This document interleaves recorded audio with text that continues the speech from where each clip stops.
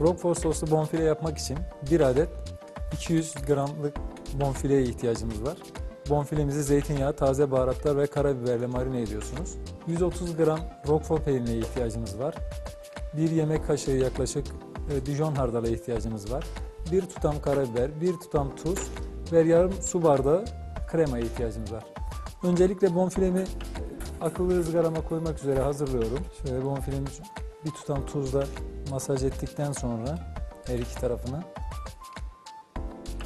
şöyle tel güzelce yerleştiriyorum. Bonfilemi koymadan önce önceden ısıttım akıllı ızgarama. Bir su bardağı kadar su haznesine su koyuyorum. Şöyle bonfilemi 10 dakika pişmek üzere ızgaraya koydum. Ve sosumu yapmak üzere ocağın altını açıyorum. Önce roquefort peynirini tavamıza alıyorum. Rendelenmiş de olabilir ya da bir çırpma teli yardımıyla bu şekilde ezebilirsiniz. Bir yemek kaşığı kadar Dijon hardalımızı da koyuyorum. Sonra tane karabiberinden bir parça çekiyorum. Ve biraz ezildikten sonra kremamızı vereceğiz. Buradaki püf nokta kremayı verdikten sonra çok fazla kaynatmayınız.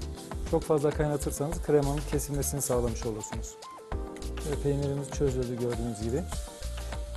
Ve çiğ kremamızı da veriyorum. Sosun içine ekstradan tuz kullanmıyorum. Roquefort peyniri yeteri kadar tuzlu olduğunu bildiğim için. Böyle kaynamaya bırakıyorum.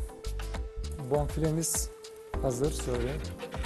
Gördüğünüz gibi mis gibi pişti şöylece.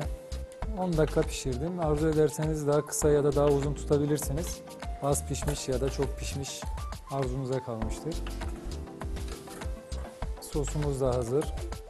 Sosumuzdan da şöyle üzerine gezdiriyorum.